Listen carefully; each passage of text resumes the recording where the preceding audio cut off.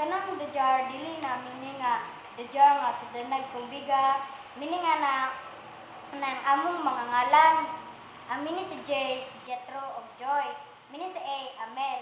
Eh, one lang ang R ako si Rose si RJ o si Rose. Another muna? Go. Another meaning sa jar kay vessel na sudlan o kanang blessing sa Ginoo. Salamat din may kaya nakasun mo sa grand finals. Bisan pag Bisan pag May daghan nga. naidaghan nga difficulties nga among na buhat.